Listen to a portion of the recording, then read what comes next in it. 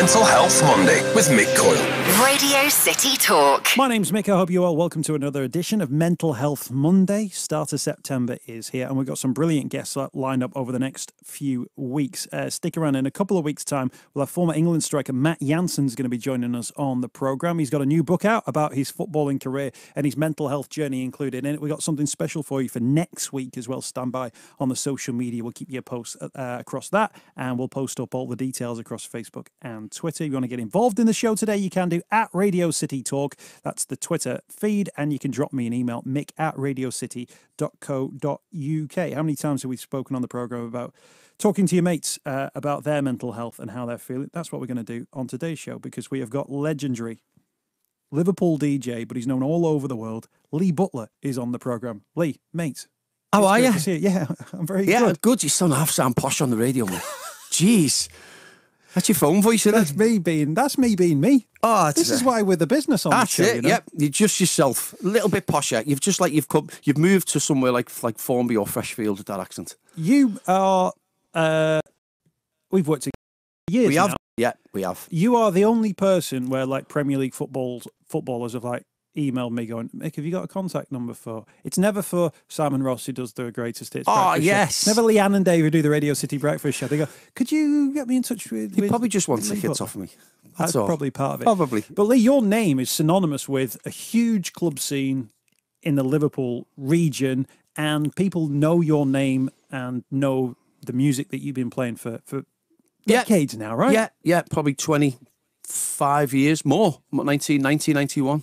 When people go Lee Butler, what what era do they talk about? What nightclubs do they mention? Um, I think you know what, Mick. I think I'm quite lucky in a sense, whereas um, I've I've got quite a a big following of of different age groups. So I mean, 1990, 91, I was clubbing then um, in Liverpool's Quadrant Park, and then that gave me the inspiration to be a DJ as an electrician at the time.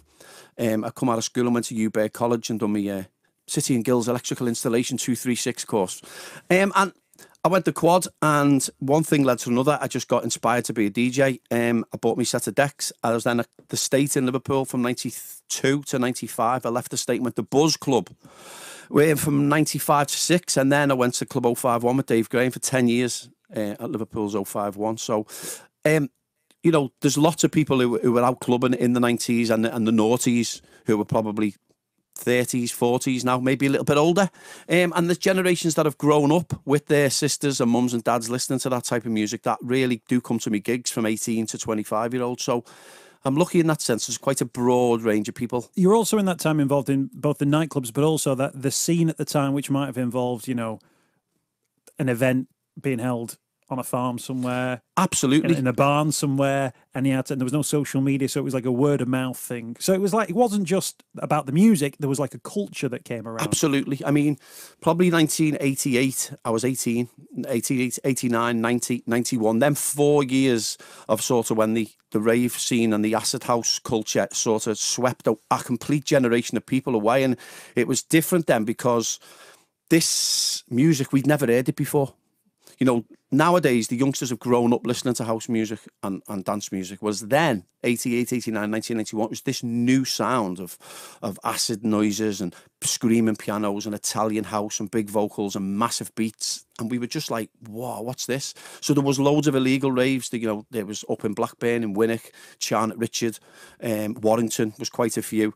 Uh, and just illegal warehouses where people were firing generators up and masses of people were turning up. Um, and we had battles with the police every week trying to, they cordon off the, uh, the turn off. So they get wind of where it was. And these hundreds of convoy cars that were driving from Liverpool to maybe Blackburn or, or Warrington, they would have the turn off cordons off already. So they were sort of trying to get one step ahead of us and we'd find ways to get there. But yeah, it was, there was no mobile phones, there was no social media. It was basically after the quad, there would be hundreds and hundreds of cars lined up uh, a garage, which was on the Lancs at the time, and there would everyone would know what this one convoy car's registration plate was.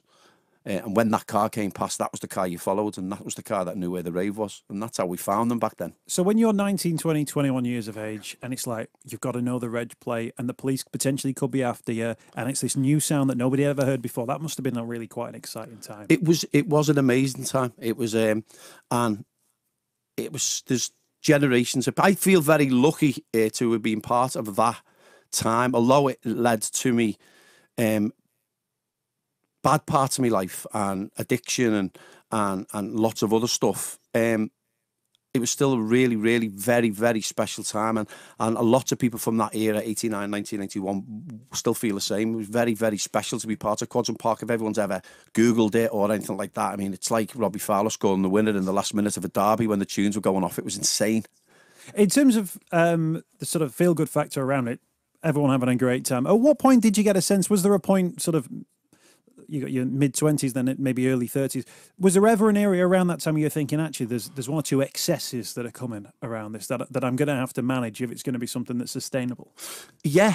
Um, well, it depends what you're talking, whether you talk lots of different things. Um, 89, 90, 91, when I was a spark and I lost my job. Um, I left one of my works vans in Blackburn and forgot I'd gone in it. So that was left outside the rave. I just about got away with that with the boss. Um, and then I did it again.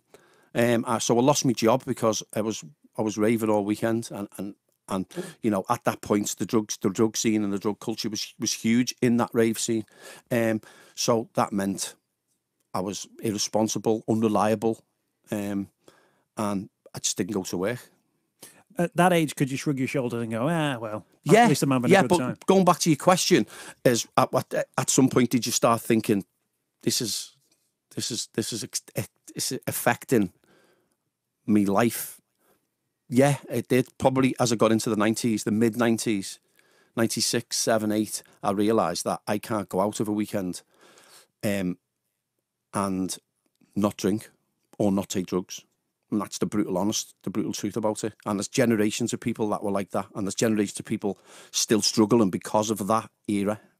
Were you aware at the time that other people might have been feeling that way, or was that like a sort of um, something that you realised in yourself? You're thinking, "Hang on a minute, I'm not recovering the same way I used to. Maybe not enjoying it in the same way that you used to." Were other people kind of making those noises? Had other people dropped away from the scene? Maybe. Um, no, because I think when you're embroiled in that scene and you live the scene like I did, and I still do now, but you know, obviously, uh, you know, I've been in recovery for a while and and now I'm at the point where I know I'll never drink again. I know I'd never take a drug again. I, have completely nailed that part of it after a lot of hard work. So, but there was, um, there's my phone buzzing there. How very unprofessional. Someone booking you for a gig. so it wasn't until sort of things started crumbling around me that I started to really, really realise that I had to stop and change. Um, and I couldn't do it. I couldn't do it for years and years and years. And my marriage was getting affected. My mental health was getting affected. I was so frustrated that I, I couldn't couldn't go out of a weekend and not take drugs and drink.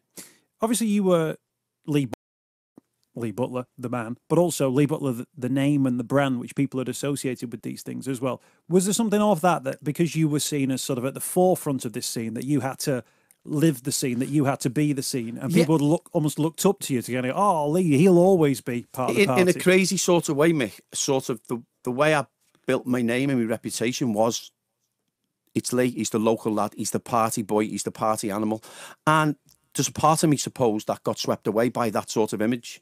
Um, and you know what? In in a strange sort of way, that image probably got me quite a bit of me success and me following because I was just partying with with everyone else. It wasn't all about playing music for me. It was it was I was embroiled in the night and the club and scene. So people knew that I was partying with them. So these generations of people who, who were coming and raving and taking ecstasy and drinking, I was doing the same thing. So not not saying that's the right thing. I'm just saying that was I was part of their scene with them.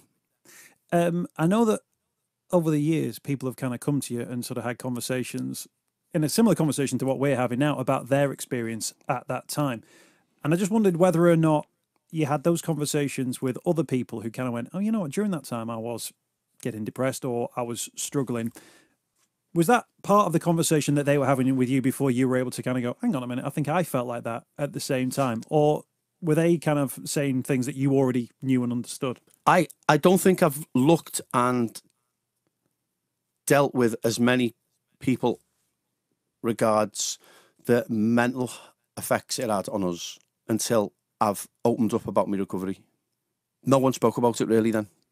It wasn't something we discussed, or the fact that we were partying from Saturday to Tuesday and probably lying in bed on a, on incredible downer, we're really in a bad place until the weekend came, and then you go and do it again, and it was like a vicious circle, and it was a rut, and it was just a cycle that continued and continued. So we didn't speak about like oh, you know, I've been on a really bad downer this week. We were just embroiled in, in the clubbing and the raving and, and everything that went with it. It's only since I w- when I went into recovery and a turn for support and I really made the effort to, to get clean and sober that these issues started to come about. And now I've opened up and I'm story and I'm public about it and I, I post every Sunday from my Sunday support section that I get flooded, Mick, absolutely bombarded with so many messages and so many emails. I've got a full folder on my computer with a recovery email folder where I, I speak to people all the time who are trying to get clean, trying to get healthy. And it's only when you start to open up about it do you realise everyone's in, got the same. It's it's incredible because I write my story in real terms. I don't write it like a mm. counsellor. I don't write it through a computer on how to get people through recovery. I write it in just brutal honesty of how I felt, the paranoia that went with with with the drugs, the depression, the sobbing to my wife, the effect it had on my kids, the fact that I was letting people down. I was all that. People read it and go, God, that's me. That's me. And they reach out more than they would fancy walking into an addiction centre or an AA centre because these people that are, are contacting me they don't they don't want it. They feel uncomfortable going into them places. They feel like they can speak to me, luckily, a bit more than they can turning for that support. Do you think in a different world, some people would look to you and kind of go, you know, Lee, all those nights you organised and all those drugs that we took and all those nights that we spent in fields and all those nights we spent on downers the following week, I was trying to keep up with all my mates who were trying to cut up with their mates who were trying to keep up with you. Has anyone ever in another world, I could see that some people would go, you know what, Lee, that, that scene that you were part of and a lot of other people were part of, that's now part of a really negative part of their their life from a mental health point of view. Have you ever had any any comeback like that? Absolutely, loads, yeah. Loads of people um, message me, email me, um, and stay in touch with me that are. I've stepped into recovery after seeing some of my posts online, uh, and I've made that first move, and I've sent them lots of stuff and lots of information and lots of ways that they can take the steps to get clean are opening up now and going, you know what, that stage in my life really, really did affect. And it still is affecting them. You know, there's so many people, Mick, that are like exactly like I was, that are stuck in the in the midst of just functioning, but don't know where to turn and don't know who to say anything to. They're just going out, they're snorting cocaine every weekend, they're drinking, it's affecting their marriage, their life. I mean, I don't just have these people turn to me. A lot of it's lots of their partners. Lots of wives or mums message me and say, "Look, I'm reading your story. This is just I'm just like reading my guy. It's about my fella. He's not coming home. He's not going to work on Monday. He's so upset on Tuesday. He's sobbing in the bathroom to me. He's saying, "I can't believe I've done it again. I can't stop." And it's that's that's how it is. But those 20 year olds in 1990, what are they? What what what are those things that they're doing now in in 2019 as 30 year olds, 40 year olds? What are the things that there are? You mentioned cocaine there. So has ecstasy moved on and now cocaine's become a yeah, thing? yeah, yeah. And that was my that was my addiction. It was it wasn't just cocaine. I was I was I was like I was drinking. At first in 1991, it was all ecstasy right the way through. But then as soon as I started using cocaine, it's just such a horrible drug, Mick. It, you know, it, it strips you of everything. Um, you don't care about your responsibilities, you don't care. All the things that are important to you become bottom of the list. Um, and that is how it's affecting people. And there's generations of, you know, if you look at 1990 when we were taking and it was the Quadrant Park, then why don't you look at 2004 when I was at Club 051, which is much closer? So lots of 18 year olds were going to Club 051 in 2004, probably younger with the, with the fake ID. They're probably only 35 and they're still going out and they're still taking drugs and they want to stop and there's it's finding the strength to get them to to to talk about that part of them that wants to stop because there is a part of you and this is what I write if you've got that voice that right inner voice that part of you that is saying to you somewhere I need to stop this. But is that isn't isn't part of the issue in terms of somebody deciding they want to talk about it? Part of the issue is that they're talking about their almost relaxation time. It's the Friday night, it's the Saturday night. That's how they relax. It's just that what they've found as their relaxation thing has become this unsustainable thing, which leaves them feeling the way that they are. For a lot of people, they'll think, well, that's the, that's the way I when I'm not at work or I'm not with the family. that's the way I go and relax. That's the way I've taught myself. But my groups of friends have taught that's- themselves That's to the trick of addiction, Mick. That's the trick of addiction because that isn't relaxing. Taking from someone now who's going to enter their third year at not drinking and not taking the drug,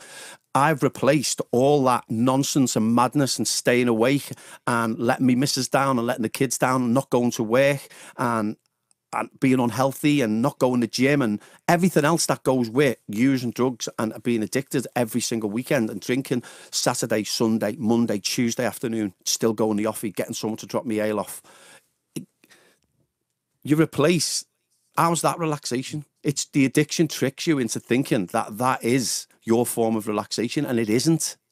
Relaxation now for me is switching off in the house or getting the kids and going for something to eat or driving somewhere nice and But, but you got to learn those alternatives, haven't you? of You- course you have. Of course you have. And that's that's when you think that your form of the biggest thing I have to, I have the biggest battle I had myself and I have when I'm speaking to people who turn for me for some support and some advice is getting the message across to them that they're not going to be missing out when they stop.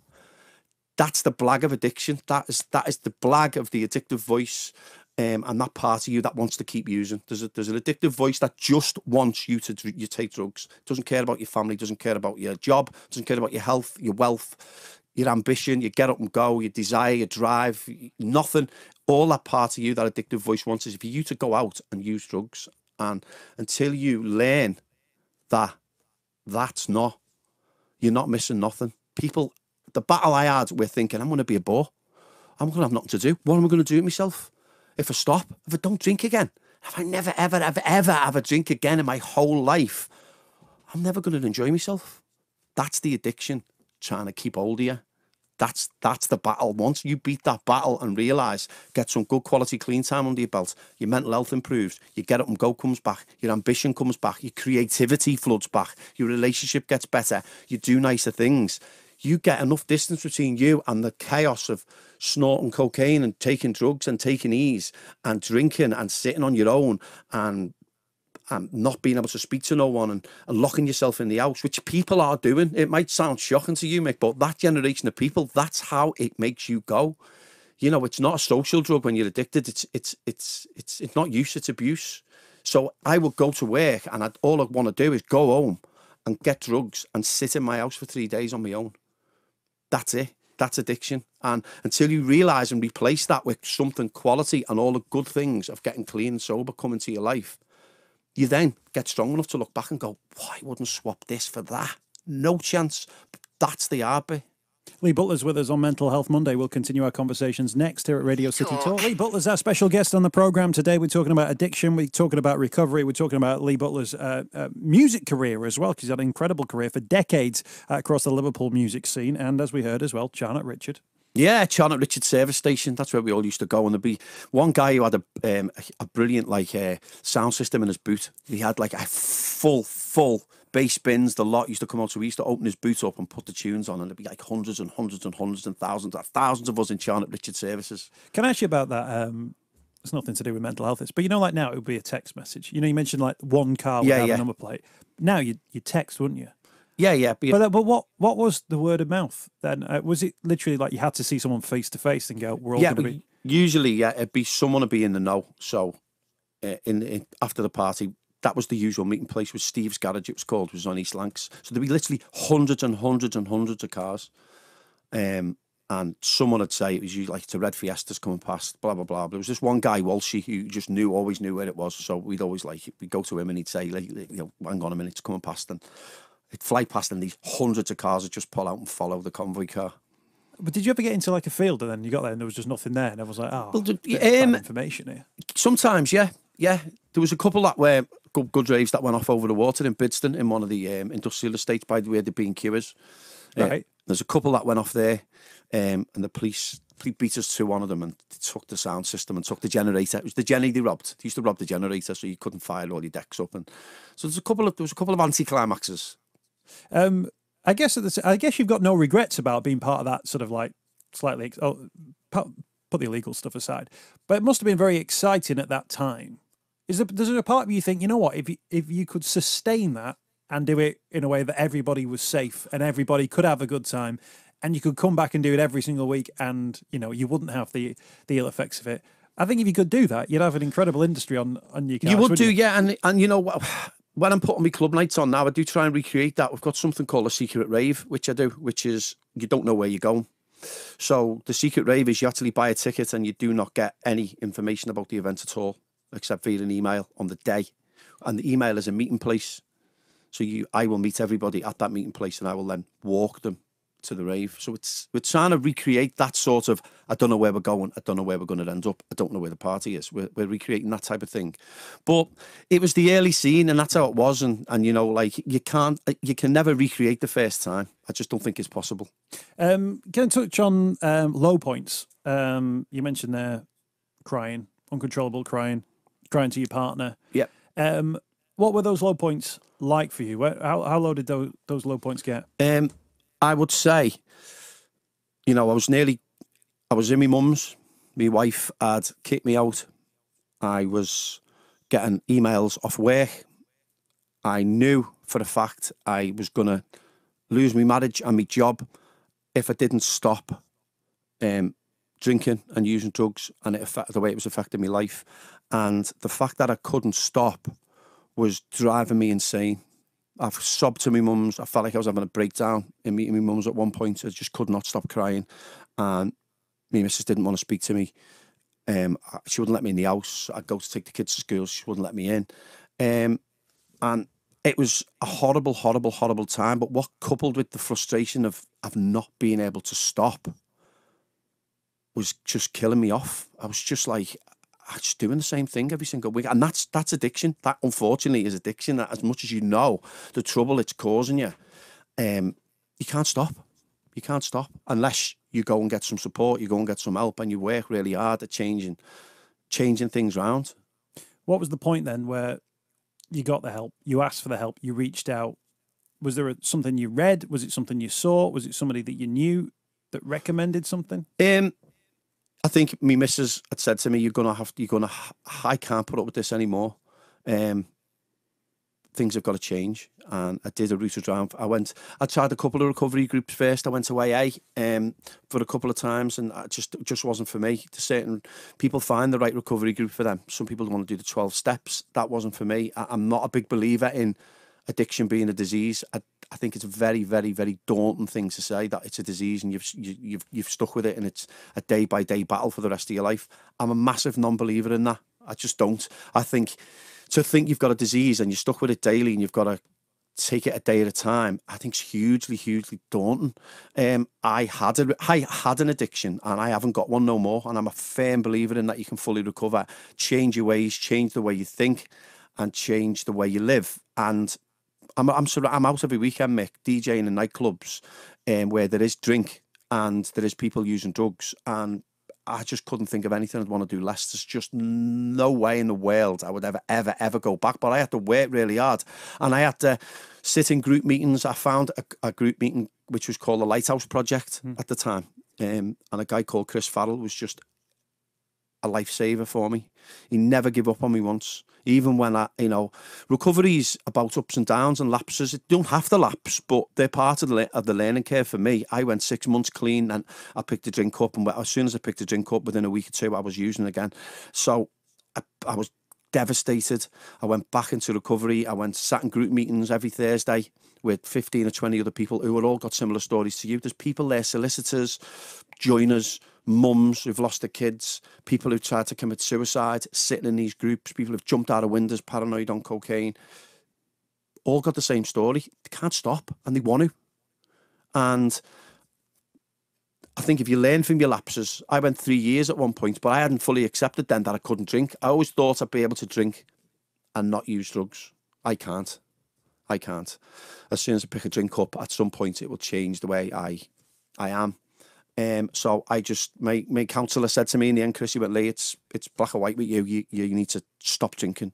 And as soon as I committed to not drinking again ever, that was it. I was away, and that was the the changing point for me. When your wife had said this has got to stop, what was she seeing? What what were those those things that she was saying? Right, that's it. You're out, and the door's getting locked. She was seeing you? me going to work and not. uh, initially, it was me going out to work and not coming home. So that was obviously, as you can imagine, causing huge, huge problems in the marriage. Um, and I was out just in parties, off my head. Simple as that, really. Um, and then I stopped doing that because she, you know, she said, "Where have you been? Who have you been with? Don't trust you." Blah blah blah. So I stopped doing that, but it didn't stop using. I just took me use home. And so in the end, she was seeing me go to work of a Saturday, sitting up all day Sunday, all day Sunday night, still drinking Monday. Um, the kids couldn't, couldn't come in the back room because your dad's in there, he's still drinking. And he was young then, you know, so luckily, I, you know, I just about got away with the fact that they didn't quite comprehend what was going on. But I knew at that point, and she just went, "Ah, I just can't carry on like this. I can't.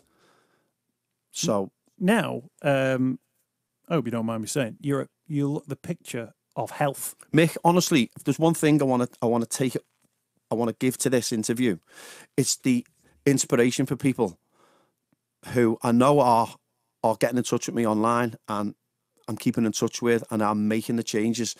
That if you are caught up in that sort of story that I'm explaining, and you think you can't stop, you can, you can, and don't be fooled by your addiction or your addictive voice. Um, telling you that you're going to be a bore, life's not going to be the same. You'll never go out, you can't watch the match, you're never going to be able to go to boxing. All your mates will think you're a bore, you can't do this, you can't do that, you're never going to have any social life. It's utter rubbish because the rewards of getting clean and healthy are just mind blowing. None of the stuff I've achieved over the last three years I would have done if I was still the way I was. Me Raven Fit brand, me Reminisce Festival brand. I'm up and about every day. I'm so creative. I'm I'm in the gym three times a week. I'm eating better. Everything everything comes to you. And honestly, the chaos that your addiction causes and all the trouble it causes and the relationship problems it causes can't they can't fix themselves once you get clean and healthy. That idea, though, that you're, you're going without, that you're not going to have these things in your life. You've just described actually having actually more things in your life. Oh, You've honestly- described, you know, a more interesting, more varied life, more creative life. And, and the thing is, people don't think they can ever go to a gig again. You know, people are messaging me regularly, daily, saying, "Hey, I'm, I'm on my second week clean. I can't thank you enough for your support and your emails and keeping in touch. Doesn't half help me when I'm struggling. But you know, I, I can't believe I'm never ever going to be able to go out again." And I'm like, "You, you can. Of course you can. I go out and enjoy myself more than ever now. But there comes a point where, not because I think I'm in danger of picking a drink up or picking a drug up, I've just got to the point where I want to go home. Just and, and, and I know now that I'll be out till 12, 1 o'clock and I'm tired and I want to go home and I'll go home and I'll get a kebab. or I'll have a big, massive bowl of crunchy nut cornies in the house. I'll watch the telly for a bit. I'll go home and I'll get up in the morning and I'm fresh as a daisy and I would never replace it for nothing else. And just, I just want people to know that the rewards are incredible. And if I can do it, working in clubs and in nightclubs every single weekend, anyone can. Anyone can. And the rewards and the benefits are in, insanely good. Uh, Lee Butler is our special guest this week on, on Mental Health Monday. For people who are going through this, Lee, um, how much of it do you think is about you also sort of growing up as well? We started off on the journey, you know, 18, 19, 20 years of age. You've just described there, you know, it gets to one o'clock and you're thinking, I want to go home. There'll be plenty of people now who are a little bit older thinking, you know, it gets to half past 10 and I want to, I want to be curled up uh, with a good book in, in bed as well. Um, as you've kind of got older, do you feel like your mental sort of awareness has changed? Do you think that part of this is about sort of learned behaviors? Or do you think that actually what you you became aware of your own mental health in that time? I don't because I think there are plenty of people now who are in their 50s, 60s who still aren't that clued up about what mental health actually is. And if they had that knowledge when they were in their teens and in their 20s, they'd almost be better prepared. I think it's a really, some of those really, changes. really good point. Really good point. And that's why I'm trying to push the message and open it up about my story and my journey and putting it all across my social networks and, and, and anywhere I can is to let that there is, it's important we get to the younger people because honestly, take it from me and being in that scene, the scary thing now regards addiction and mental health is that it's, there's a generation that just think it's normal to to, take drugs and uh, there may be people listening who go "Ah, it's, it's rubbish there is there's an almost a normality about the the club scene and the bar scene that I think you could pull as many people and ask them if they were brutally honest. That would be a 50-50 split of people, maybe more, in these festivals and nightclubs and stuff like that. So it feels like it's the norm now, but no one's getting that message across to the young people. You're right. At that early age, I never really thought this this affected my mental health. I'm not right here, but I did start to notice it. And there was times I've sat in my bathroom sobbing to my wife, and I've just thought I can't carry on. I just can't do it no more. I just can't. I can't go through this every single weekend. What's the matter with me? Why can't I stop? Why am I here again? And in my mum's especially. I mean, I broke down on my mum's like a baby many, many times. And my mum's phoned my wife and my brother and said, I'm really worried about our Lee. He's just, and it's just not a nice place to be. But I think you're right. I think as you get older and you start to think about these things a little bit more uh, than you do when you're young. And I think for us to get it amongst the younger people is huge, huge. Uh, Lee's up and about on social media on Facebook, Yep, Twitter, yep. Instagram. Instagram. Yeah. Any, any others? No, at DJ Lee Butler Instagram, at DJ Lee Butler Twitter, uh, Lee Butler Radio City on my Facebook, and there's loads of posts about uh, recovery and addiction on there, and loads of advice and places to turn as well. And there's regular Sunday posts as well. Lee Butler, absolute pleasure, Lee. Thank you, Thanks Mick. for coming on the programme. Uh, my pleasure. I'll do my normal voice off air now. Good lad. Thanks for coming on the Thank you, programme. mate. Don't forget.